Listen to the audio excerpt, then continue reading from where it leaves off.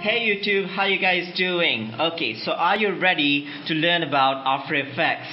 So today we're going to start up with our After Effects lesson and then we're going, going to basically talk about all the basics of After Effects. We're also going to cover up some other tools here, but we are focusing specially on After Effects and we'll cover up the other tools later on as well.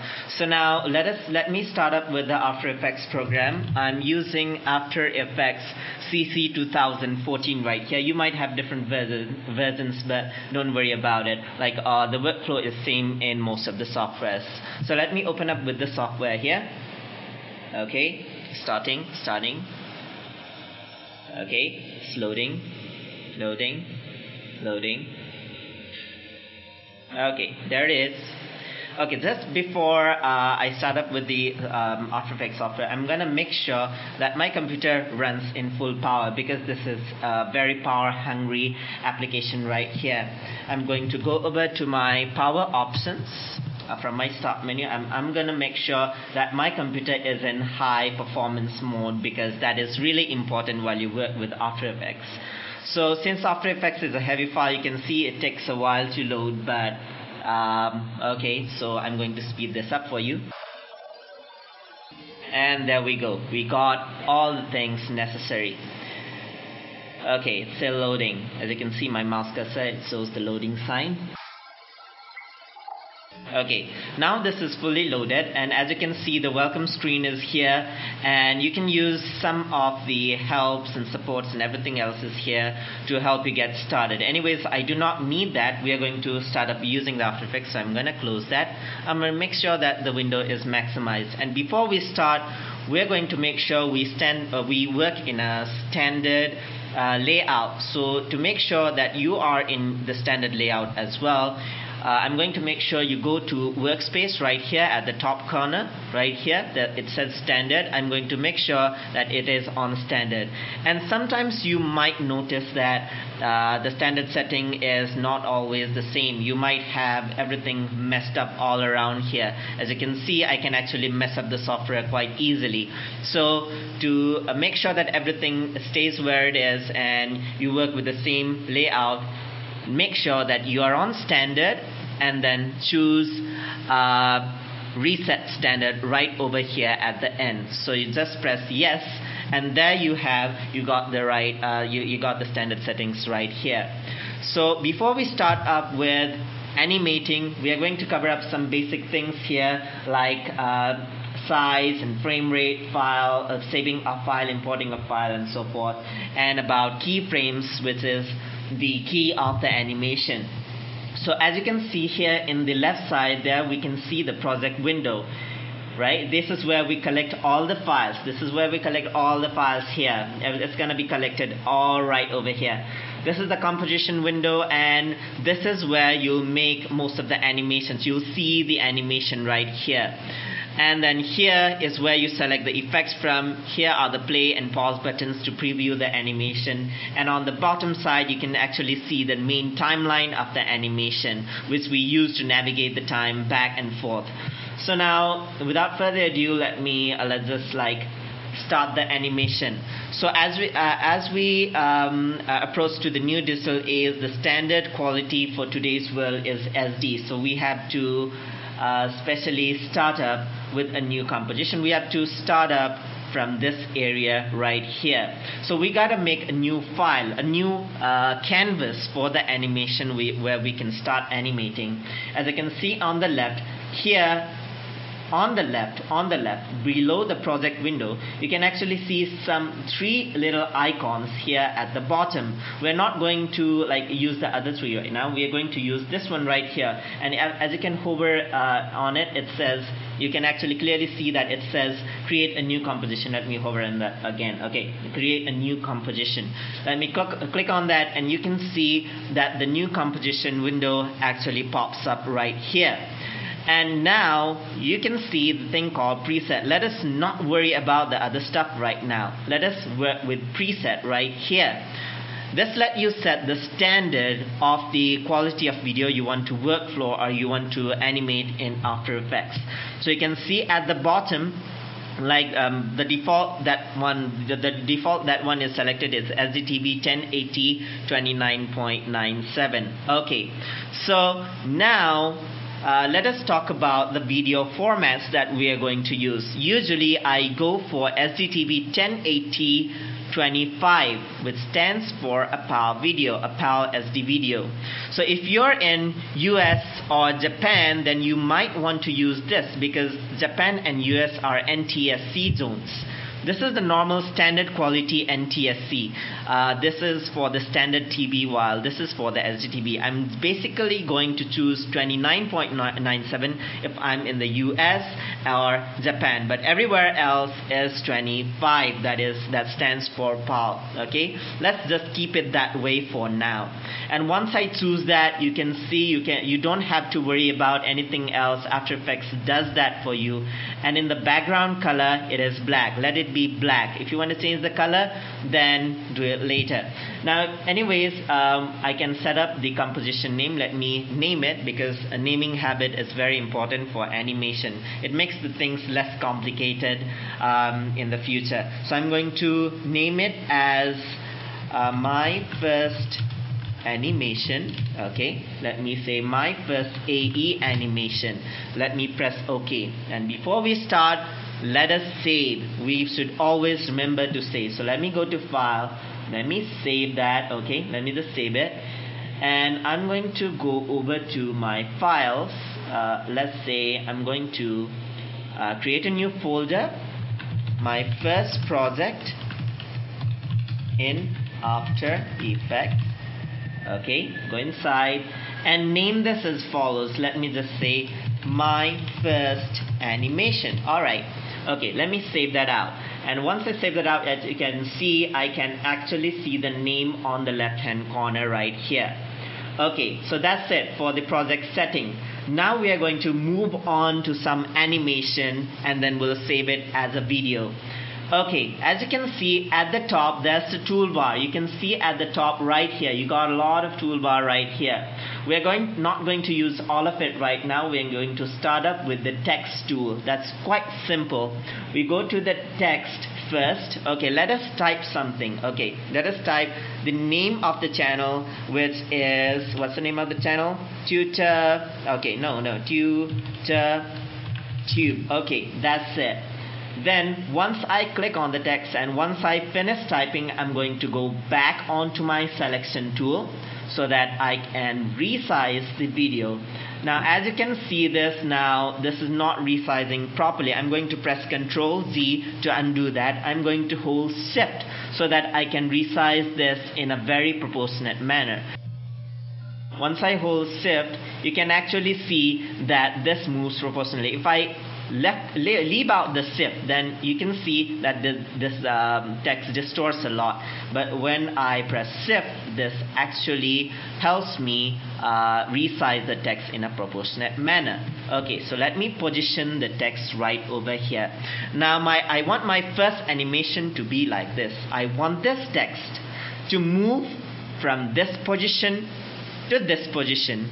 Um, in about two seconds all right? So this position to this position in about two seconds. So so this is my starting position right here.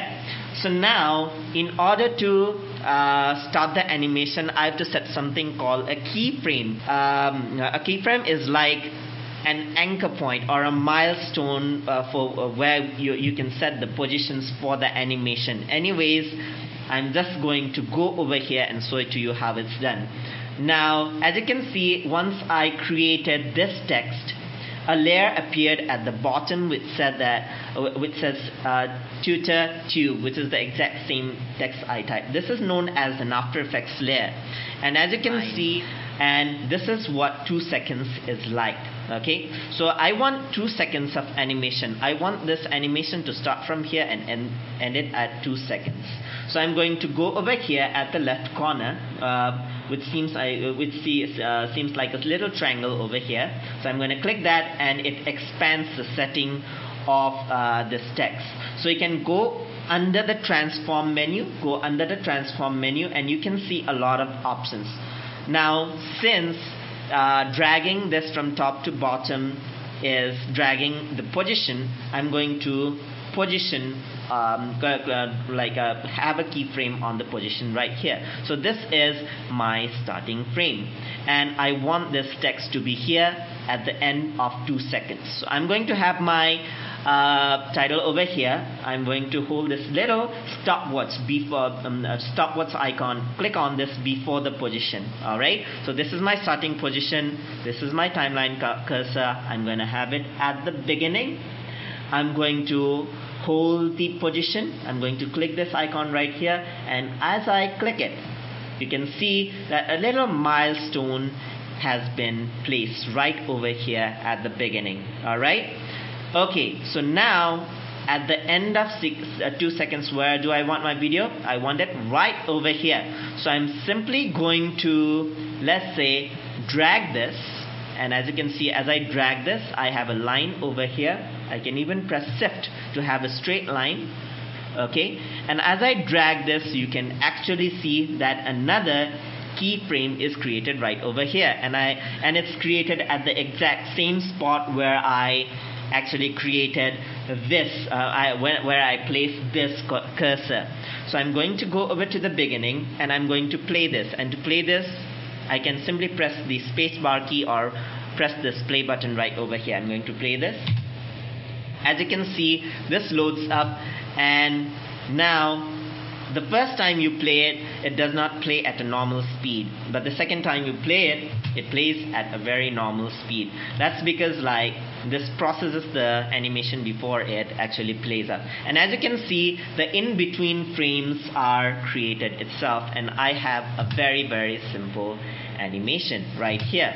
Okay, so you can do this with a lot of text if you want the animation to continue further, let me say I want the animation to go back, then I can simply drag the video back up. And as you can see, that it goes down, right? Then it goes back up. Right? So I can have another animation right here. I can also add in other layers. So I'm going to deselect this, click on an empty spot right here. Click here and let's just say uh, I'm going to type okay uh, After Effects. So I'm going to hold shift. Okay sorry for that. Might be a tricky sometimes okay. So hold shift and drag it. Uh, okay not that that uh, that big. I'm going to keep it over here. So I'm going to play this. I just press the space bar and over to the one second. When uh, I want this animation to just start from one second, from this space to this space. So I'm going to go over here. Let me go inside. Let me go over to the transform menu. Let's go over to click on position. Let's go over to the right. And then drag. Like, let me just press shift and drag this. So as you can see, now another animation is created. tutor tube goes down, After Effects goes towards the right. So that's what my animation is. I got it till four and a half second. I don't want the video to be this long. So as you can see, I can navigate the timeline. I can drag and increase the zoom level or drag in to decrease the zoom level. So I can drag it out uh, squeeze this in a bit. Let me squeeze this in. Let me squeeze this in about four and a half second because that's the only part of the animation I want. So let me right click. And I got the op option right over here called trim work come to work area. Let me just click that. That's it. Okay. So I got the um, uh, amount of length that I want. So let me play that and let's see what happens. Okay so that's the animation I want. So let me save a video file of this. And to save a video file is quite simple. Select the composition. This is my first After Effects animation. Go to File. Go to Export. Okay, I do want to save this file. Okay, if I save this file, then it saves an After Effects version of the file. It saves an AEP version. So if I were to go over to File, let me press Export, Add to Render Queue let me press that and as you can see I am I have a render queue window open right here. So now at the end there's the output module called lossless. Alright, so that's lossless right over here. And uh, after I go to the render queue, I want to change the format on which I'm going to save this. By default, this is an AVI. I want maybe like I want a lower size uh, so I'm going to go over here at the output module. Click on this thing little thing called lossless little word. Click on it. And I got this option right here. So we are not going to go deep into the formatting settings right now. We're going to go over to the format. And then let me just choose QuickTime and let's go to format options. And here choose H.264 okay that's it. That's uh, that's what I want to do. If you want to output the audio file I don't really have the audio file right now so I can just turn off the audio press OK and at the end you can see output to my first After Effects animation. Let me click on that to choose where I want to save it. I want to save it to the same folder where I have my After Effects file. So I have my After Effects file. Okay what was the name of the folder? I forgot okay the name of the file was my first uh, project in After Effects. Okay there I have a spelling error right there. Okay I'm going to correct that later on. So double click save it and then press render. See the magic? See the magic of the process. Alright so that's the bounce effect. I know it doesn't look that great. We're going to move on to some greater stuff in upcoming videos. Anyways, so now uh, let us go over to that folder. Let me see what the video uh, looks like now.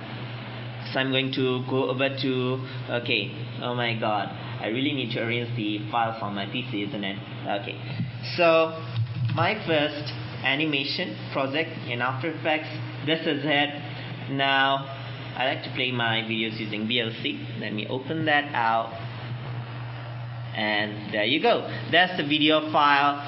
So hope you learned something.